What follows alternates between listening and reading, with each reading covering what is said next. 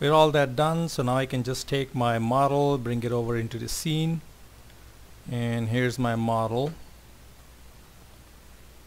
So as you can see the the model is that's an issue. It looks like it's transparent. And this is a problem where you whereas when you bring in an FBX file and when with textures everything this is what happens. So an easy fix is you just need to create your own material and then apply the textures again so what I'll do is I'll just come over here into my assets and I'll create a new folder.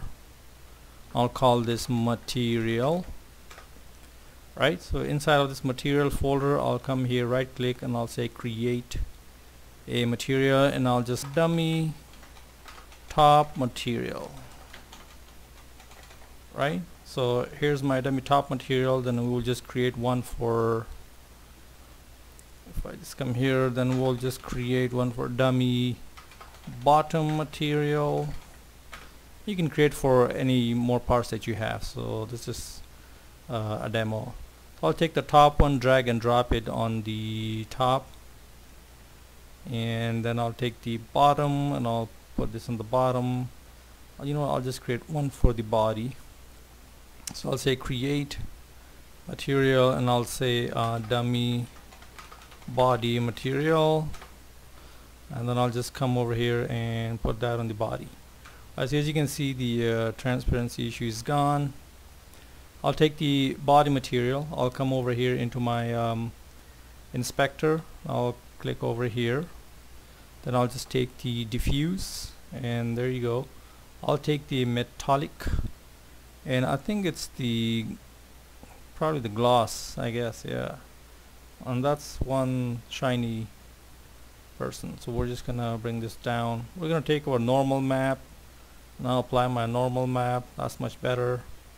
And then you can take uh, the secondary maps. I'll usually plug in the same normal map. And as, as you can see that works very well.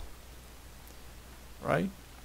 Mm, I think it's still uh, pretty shiny. Anyways so you get the point and I'll take my top material we'll do the same kind of drill.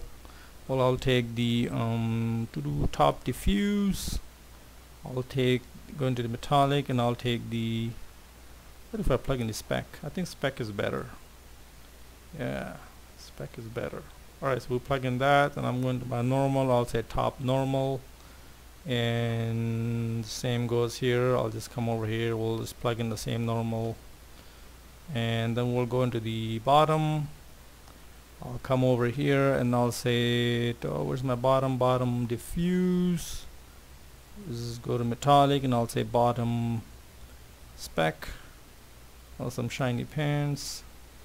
And I think I, I gave it the wrong one. Yeah. I'll say bottom spec. That's better.